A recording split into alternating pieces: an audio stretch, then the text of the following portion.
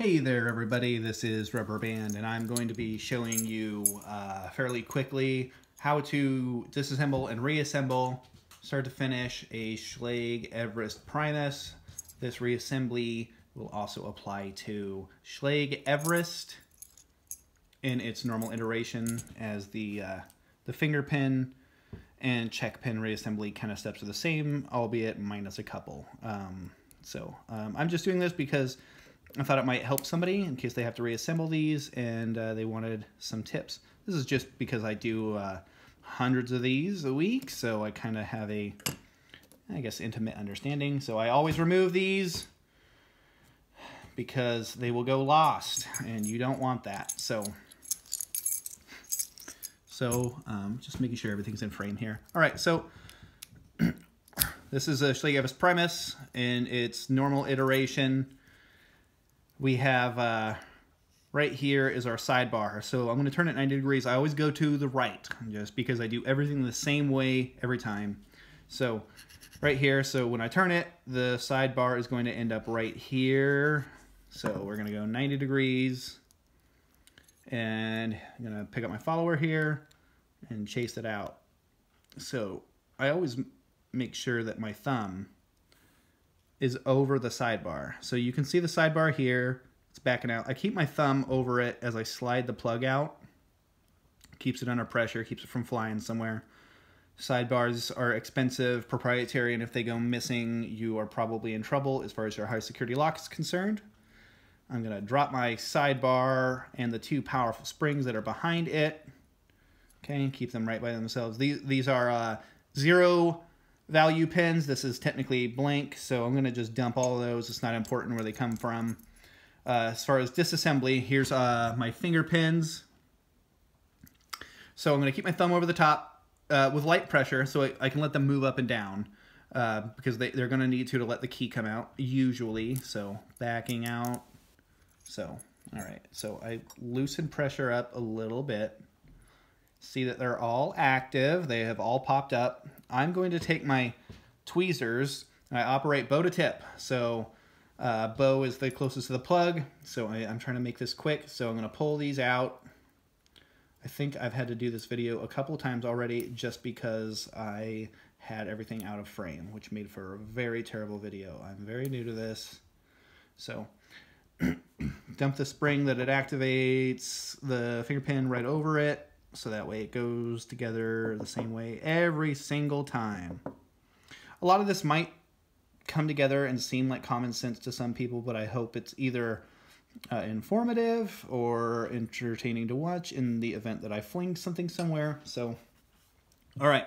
Uh, here's where a lot of people kind of have the problem, which is uh, top pins. So um, as I back it out, I like to put pressure over the top of it with my tweezers and let it fall out the back. I do that so it doesn't kind of fling at me, and if it goes down there, I know it's going to go right to the table. I always keep my hand right on the table. So I'll put this up here, uh, dump the spring that it goes with right there. I guess I'll move everything away from each other. I'm not used to working on a shop rag, but I'm doing it as an impromptu kind of see if I can help somebody out here. So uh, these springs are quite powerful as well. Um, these are aftermarket springs. I've put these in here. Um, they aren't what came in.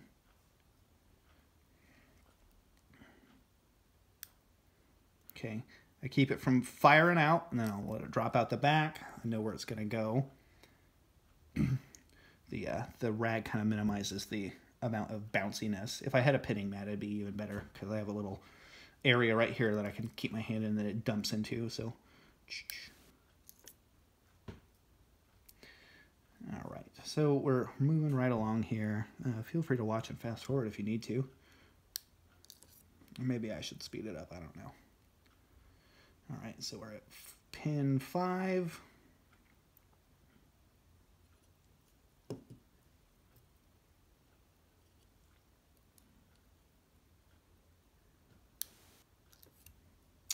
Okay, we have all key pins out and all springs out.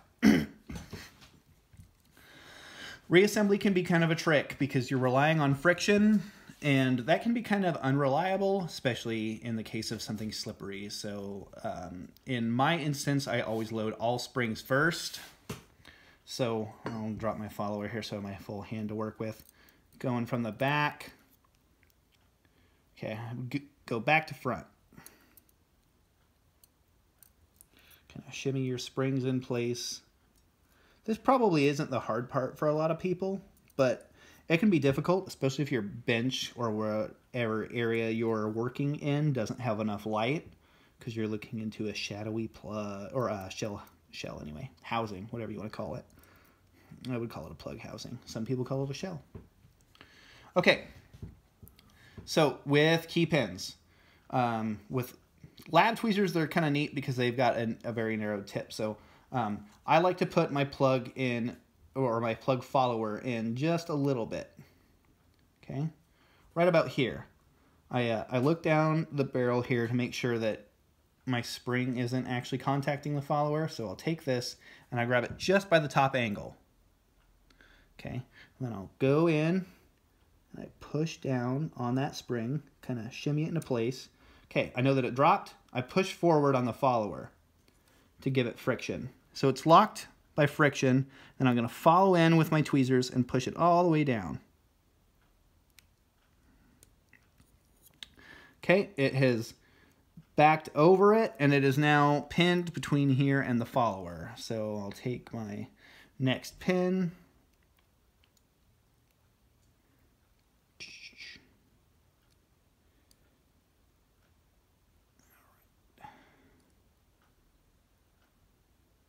right? I'm.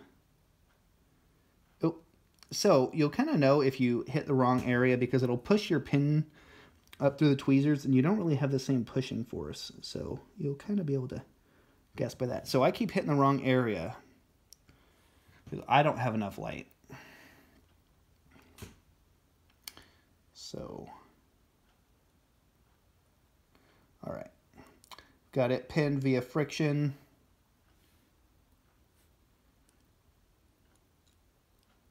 Next one, pinned by friction. So it gets a lot easier as you get toward the front you can actually see. So, all right. So you can see it, I think, if the light is right. I don't think it is, but it's it it ends up being pinned by me pushing the follower up against the pin and pegging it against the, the top of the, the chamber hole. So um, there's a lot of travel, so it was kind of throwing me off because the space between the pins is kind of large here. Um, I uh, spent basically all last week keying up little Olympus locks, so they're quite close together. So, all right. So hopefully you can see that being the front. It's pinned by me pushing. So, all right, I'll push it down with my tweezers. Okay, so that part's all reassembled. Now it's time for the plug itself. So I'm to take my tweezers and I'm to go bow to tip. I start there, I end in the opposite fashion. So, all right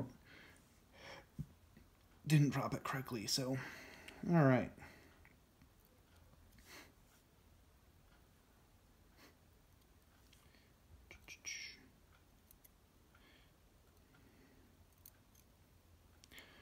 All right, take these, thumb them in here, bow to tip.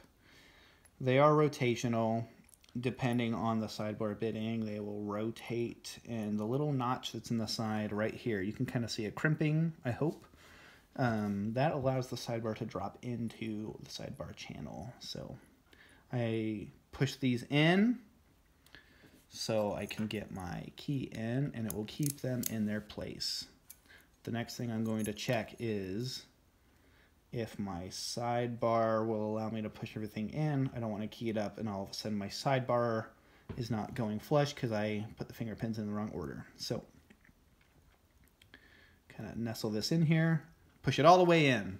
If you can push all the way in across the whole thing and it can sit flush with the plug, then you know you have it keyed up correctly or uh, bitted correctly. So I, uh, while I'm putting the key pins in, I always drop that. I don't want to fight it the whole time. But I keep my thumb over the springs so they don't fall out and I lose them because the, you basically can't fabricate those little springs. They're very tiny and very specific. Just like the finger pins themselves. So...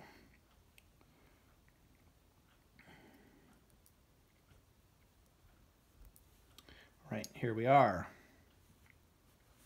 So we'll take our sidebar, we'll nest it in here, okay? All right, so what I do here is I keep my my shell, my housing here, and I'm gonna put it the same way as how it is system. I was kind of trying to figure out how to word it for a second there. So, all right, make sure there's not going to be any gaps of the follower to allow anything to drop. So I butt it up against the back here, and I actually just push the, the shell. So that way I can kind of wiggle it if I need to, but I can keep consistent pressure on the sidebar. It's pinned now, it's not going to go anywhere, and then I'll just push my housing up over the top all right, and I do this, okay? But uh, before you pull your key out, always make sure to put your thumb right here on the plug. That way you don't fling everything everywhere uh, because it's sheared, so it will want to back out. So not a very fun experience. I've done that probably too many times. Okay, and key, don't push in too hard or it will fling out like it just did. Okay, and then thread cap nestled on top. Hopefully this was in frame and I don't have to video this again. That'd be nice. Okay. Okay, and then I back one click off. If it is too tight, it will jam your key. If it is too loose, it will not let your key come out. All right, we are smooth.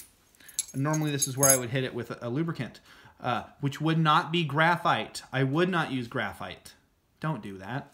Um, it causes fouling and all that other mean stuff. Um, use Triflow or uh, Houdini or Lockies or any of the other proprietary formulations by lock manufacturers that they like to promote.